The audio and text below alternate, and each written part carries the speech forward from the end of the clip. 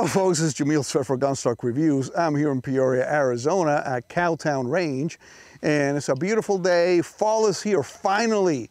It was hot as heck this year. So today we got the Taurus G3. It's a pistol that I brought you back a couple of weeks ago as a new pistol. First of all, I like to apologize when I said that the G2 was hammer fired. I was talking about a previous Taurus pistol and I got the models confused. So it's a striker fired pistol.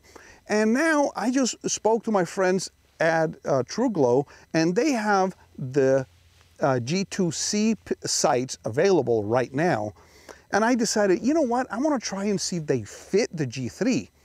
And they do and they don't. They need to be fitted. So I took a file and some patience and I fit the G2C sights onto it. The thing to note about this is that this is something that I would rather have a gunsmith install for me rather than you go out and mess with them and mess them up and they won't give you a refund if you mess them up or pound them in with a hammer or stuff like that is clearly stated on the instructions not to use a hammer to pound these things in. So you have to use, like I use a sight pusher to install them and it takes longer than if they were made specifically for this pistol. But I made them fit and they work great. So I'm gonna go ahead and try them. They're the Tritium Pros. They have a U-shaped notch with serrations in the back, tritium front and rear. That's a big white donut around the tritium in the front. And it has a cocking ledge in case you want to do it one hand that you can actually rack it against a table.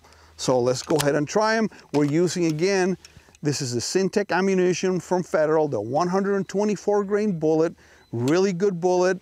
It's really reliable ammunition and it lowers, it has lower temperatures going through your barrel and it will give less wear to the barrel. So let's go ahead and try it. I want to try this pistol with a new sight.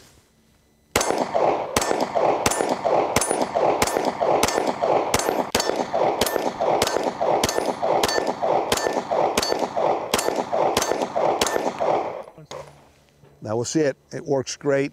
I know a lot of people ask me if I was going to do a mag dump with this pistol. I will do a mag dump with it, not now, but stay tuned. We'll do a couple of mag dumps with it coming up.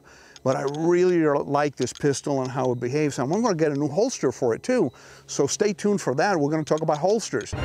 Thank you for watching Gunstock Reviews. Please visit our website at www.gunstockreviews.com for more exclusive content. Please visit our Patreon page at www.patreon.com slash gunstockreviews. Your contributions would be greatly appreciated and help us grow our selections and frequency of videos.